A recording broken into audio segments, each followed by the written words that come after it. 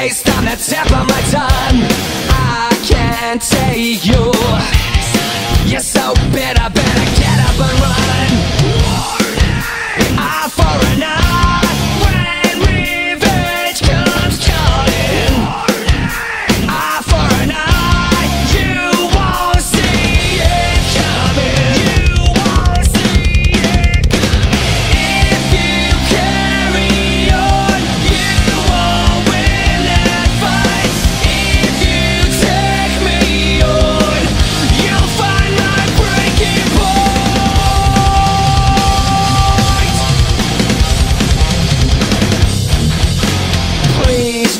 test my a short fuse you don't want to ignite. Do not scratch the